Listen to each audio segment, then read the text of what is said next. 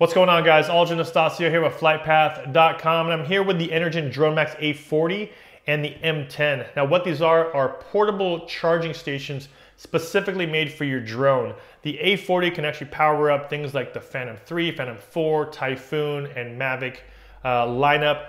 The M10 is more specifically made for the Mavic drone batteries.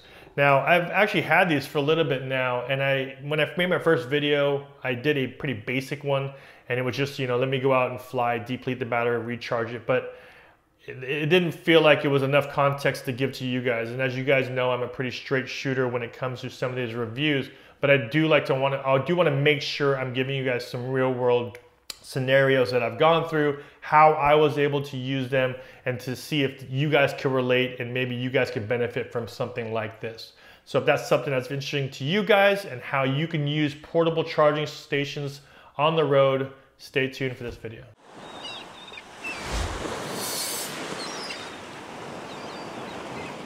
Now, if you've seen my past video, I actually interviewed Victor at CES and amazing team that they have over there at Energen. So I'm very, very thankful for Victor and the team for sending me these. And like I mentioned, I just wanted to make sure I did a proper review on it by actually taking it out into the field and testing it out the way I, uh, the way I use it and the way I think a lot of people might also use it is just really having that with you, having it in your car, traveling with, with it, uh, charging it up as you go uh, and possibly having this as a power source when you do like jobs or anything like that. I didn't do anything that, that dealt with client jobs or anything. Mine was more of just where I feel like most people would have it. And that's really just on the road, in your car, charging it from location to location while you're traveling. So that's more of the focus I wanted to do when I did my review and comparing that to the very first one I did, which is just a basic depletion and recharging video. I just didn't feel like it was enough context to give to you guys. Uh, so I wanna make sure I kind of redid that video. So the first thing I'll do is just really talk to you quickly about what is inside the M10 and the A4. What does it come with? Uh, so here I have the M10 case and they both come in very nice carrying cases. So the first thing it is, you open it up and it has two pockets, one for your charging and your cables for your M10. And the other side here is the actual M10 battery itself. So the M10 is designed for the DJI Mavic. It can charge it at least two more times. In comparison with the DJI Mavic, as you can see here, it is a little bit smaller footprint all the way around than the DJI Mavic. Just wanted to show you that for reference. Uh, the casing is a nice metal casing and it has a big rubber piece all the way around the casing itself. Good for shock absorption, uh, if you're, this is gonna be in the field. Just a nice overall protection for your battery. In the front here, we have a flashlight, USB output, battery output, and input for charging it. The flashlight is a nice piece that they added to it. You can actually use it as a regular flashlight.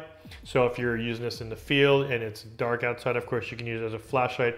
Or if you have any issues or in trouble, you can change the modes on here to use it as an SOS signal or as a strobe. They've added a USB output here, which was used for, which I used it for to charging up my iPad and also my remote controller while I was in the field. And then of course they have the battery output here. So it comes with a cable, it charges two DJI Mavic batteries simultaneously. So unlike some of the other battery chargers out there where some like the hub where it would charge in a sequence, this actually charges at the same time and so does the A40. So that is one of the biggest difference in time saving that you'll have with dedicated charging stations like this. So that was the M10. Let me just show you exactly what comes in the case for the A40. So here is the A40, and this is kind of the big boy of the group at the moment. I know they make even bigger ones now because if you guys saw my video when I interviewed Victor back at CES, he was actually showing me the big one that they have, which would power up batteries for like the Inspire and the M series and stuff like that. So this is kind of small compared to that one. Big pockets to hold all of the cables. And then you have this battery pack right here. So here are the cables that it comes with. It comes with four DJI Mavic cables, DJI Phantom 3 cables, there's four of those. DJI Phantom 4 cables and Yuneec Typhoon cable chargers here. Based on their website, same thing. This one does say it takes a little bit over six hours to fully charge this battery. This will charge three and four cell, right? So if you have the Mavic batteries, those are three cell. You can actually switch them to a four cell if you want to charge something like the Phantom 4 batteries. And you can designate here on the front which, which one you want to charge at three and which one you want to charge at four cell. So talking about the front of the A40, we have one, two, three, four separate ports. We have the input right here for charging the entire battery itself, two outputs, USBs. So this is what I, what I really liked about it is that while I was charging up my batteries uh, for my Mavic while I was on the road, I was also charging up my remote control and my iPad in between locations. So all that stuff was, you know, uh, being charged from location to location so that as I got out of my car, went to the new spot, I knew that I at least had a good 20 to 30 minutes worth of charge for me to fly again. Uh, and within that time, I was able to uh, really recharge almost all of my stuff uh, in that short amount of time. So the A40 is rated to charge a battery up to four more times. But like I mentioned before, what's nice about this is that you can either charge one battery four more times, at least four more times, or you could charge four batteries simultaneously. So if you're out there flying and you deplete a battery and deplete a second and a third and a fourth one, you can actually charge all four of those at the same time. And like I said, it's simultaneous. You're not sitting here waiting for one to finish and the next one would go, the next one would go. You're actually charging them all at the same time. So the one thing that people will say is, why don't I just pay more money and buy more batteries? Which is the obvious question that everyone has.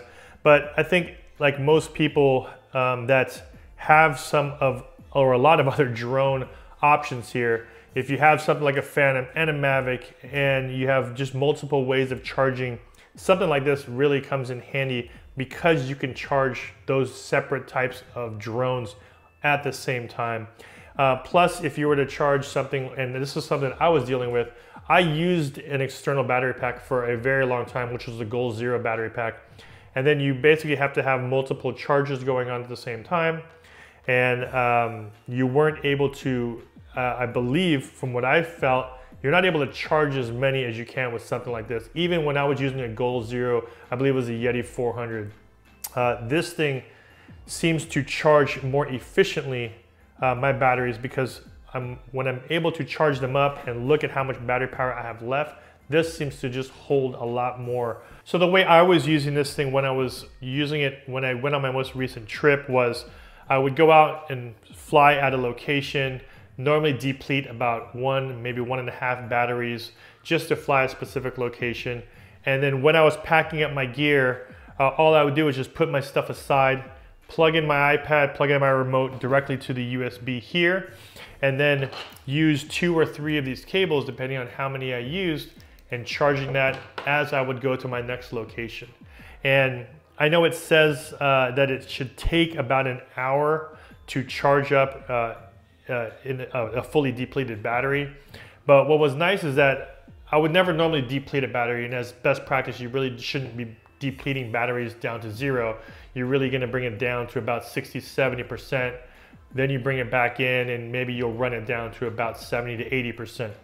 But what was nice is that I was still able to charge about five to six batteries that were about 70, 80% through this thing. And surprisingly, when I did my drive and I did charge that many batteries, I still had about 50% charge left on this thing. And that was charging up multiple Mavic batteries, that was charging up my iPad and my remote at the same time. So uh, I know it's just rated to do a complete recharge of four or more batteries. But I think the way I was using it, and I think the way a lot of other people would be using it is, is very much the same way as you're in the field, you're flying a location, you're depleting a battery, two batteries, three batteries, maybe four, plugging them in. They might not be fully depleted. They might be at 50, 60, 70%. And I was able to charge that up as well as all my other gear at the same time and still have a lot of power left. So I think that is the biggest benefit around having something like this versus you just buying multiple batteries. Everything is somewhat included here and everything is really nice and compact, comes in a carrying case. And I think it really is what they are calling it, really just a power station or charging station to have while you're in the field. So uh, that's really what I was using it for. And I felt like it was, it was definitely one of those things to have in your trunk, especially if you're gonna be doing you know, on-site gigs, or if you're just gonna be traveling and you know you're gonna be stopping at multiple locations, you're gonna need multiple ways to charge up your batteries. There it is, guys, the M10 and the A40. I hope you guys got some value from my video and how I was able to utilize these batteries in the field as I was traveling. If you guys got some value from my video, please don't forget to hit that like button. And if you haven't already subscribed, make sure you subscribe and hit that bell to be notified when I post new videos. This is Aldryn Estacio with flytpath.com, and I'll see you in the next video. Take care. You do it. I just did it. I'm doing it right now. Do it again. Want me to do it again? It wasn't good? Do better? All right. Thanks. Let's do it. You ready? What's going on, guys? Aldryn Estacio here with flytpath.com, and I'm here with my latest intern, Addison Camille Estacio, and she's actually one of the ones who helped me test out the A40 and the Drone Max M10. What's your thoughts on it? I don't know. You don't know? Did it work good? Yeah?